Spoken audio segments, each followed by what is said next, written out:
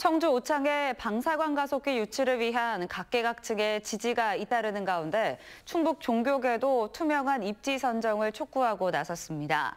충북 불교 총연합회는 건의문을 통해 방사관 가속기 입지는 공정한 평가 과정을 거쳐 선정돼야 한다고 강조했습니다. 충북 기독교 연합회도 정치적 고려 대상이 아닌 객관적인 절차에 의해 결정해야 한다며 목소리를 높였습니다.